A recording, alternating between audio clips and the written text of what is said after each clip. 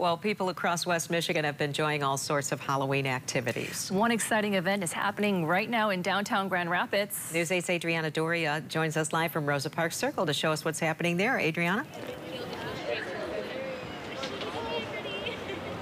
Amber Sue, yeah, it's definitely windy out. You heard it from Sarah, but that wind not stopping anyone from enjoying all of the Halloween festivities. Now, we're here at Rosa Park Circle in downtown Grand Rapids. You might be wondering what this giant monstrosity is behind me. I'll step out of the way so you can see. It's a 1,600 pound pumpkin. Now, they've been carving this thing for the past two hours. We don't know what they're actually carving it into. That's a big surprise. So we've got about another two hours until we find that out. But it's not just pumpkin pumpkin carving here. There's a big event. People in costumes have been around enjoying for the past few hours. There's food trucks, vendors, face painting, and lots of fun out here to celebrate Halloween. They're also giving out free small pumpkins for the little ones, all while supplies last, last and there's still some left here. Now, I got a chance to talk with Randy Finch. He's the mastermind behind this pumpkin sculpture and the owner of Ice Guru. Now, this year, what keeps him coming back, he says it's the people and their support and reaction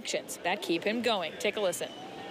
It's just the reaction we get. It's so cool to do public art and have kids come up and be inspired and talk and, and, look at what can be done. So normally you look at a pumpkin and it's just the eyes and the mouth, but with this we can show them that, look, really not just pumpkins, but in anything in life, if you really want to push the envelope, you can change things beyond what people's imaginations are. Yeah, this event will continue until 8 p.m. So if you want to see what this big pumpkin is going to turn out to be, make sure you come out to Rosa Park Circle. Make sure you bring a little jacket. It's a little chilly and it's definitely very windy. But again, we're excited to see what this will turn out to be. But for now, live in Grand Rapids, Adriana Doria, News 8.